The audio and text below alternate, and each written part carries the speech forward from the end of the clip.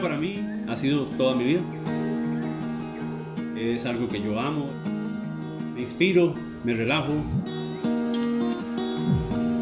Desde hace cinco años trabajamos con Freak Flops. Ya no recuerdo cuántos exhibidores hemos hecho. Fueron muchos.